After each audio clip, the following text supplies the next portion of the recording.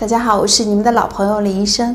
贝塔乐克呢是心内科常用的一种治疗高血压的药物，它的学名叫做酒石酸美托洛尔，在药理上是一类贝塔受体阻滞剂。它可以在有效的降低病人的心率的同时呢，降低心脏做工，这样泵出来的血液量就会减少，血液当中的循环血量就减少了，而病人的血压就会降低。但是呢，用药是一件非常谨慎的事情，有四类人要慎用，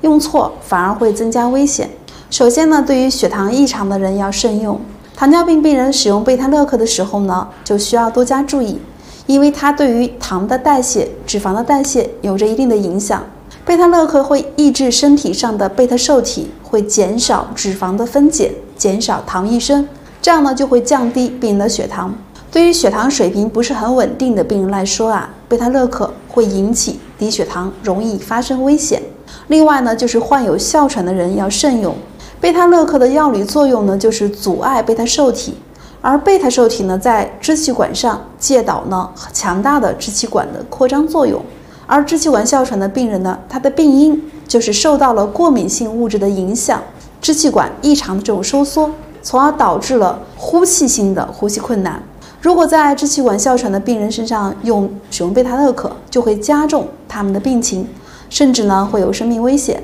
另外就是心率太低的人慎用，心脏上的贝塔一受体啊，可以使心脏泵血呢强有力，心率变快，传导变快。而贝塔乐可呢是阻碍贝塔一受体的，这样呢就会使病人的心率减慢，泵血无力。如果病人本身就有窦性心动过缓，那么在用了贝塔乐克之后呢，就会造成心率更低，甚至是停止搏动。还有呢，就是重度房室传导阻滞的人，心脏上的贝塔一受体啊，可以使心脏的传导加快。如果使用了贝塔受体呢阻滞剂，就会使得传导减慢。对于本来就有房室传导阻滞的病人来说啊，无疑上是雪上加霜，加重病情。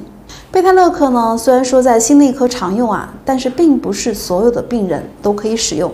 在用药的时候呢，一定要谨慎注意。以上呢四种病人一定要遵医嘱，不可私自用药。好了，我们这期的分享呢就到这里，关注我，了解更多健康知识。